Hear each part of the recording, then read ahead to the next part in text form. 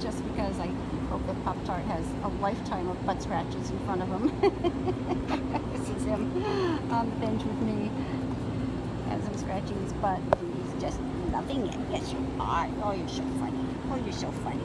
He's such a good, such a good boy. Oh, you want to sit down again. Oh, I know, but when they touch your butt, you get right back up again. You're so cute. You're so cute. Come here. Come here. It's just, I just love him. Okay, well, I'm going to stop touching you.